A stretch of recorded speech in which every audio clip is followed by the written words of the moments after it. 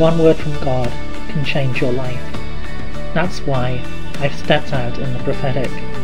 My name is Kevin Bridges, and you're listening to Daily Prophetic. I see a landscape which is transformed by the snow. It is whiter than white, and the sunlight is shining upon it. And the Lord says to you, I have washed you clean. I've made you whiter than snow. I'm the one who is restoring and healing you. Don't be afraid, but trust in me. Dare to be who I made you. Dare to be yourself, not looking back with shame, not looking back at what has got, gone wrong, what has not gone the way that you intended, but looking to me, knowing that I am the one who restores all things, the one who makes you new and whole again. I am with you and I am for you. I'm leading you forward into the full life that is yours.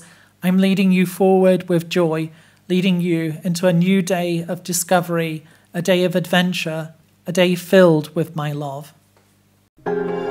Would you like a personal prophetic word?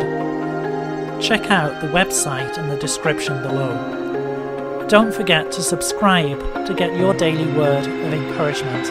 And whilst you're here, why not have a look at some other of the videos that I've made? God bless you and have a really great day.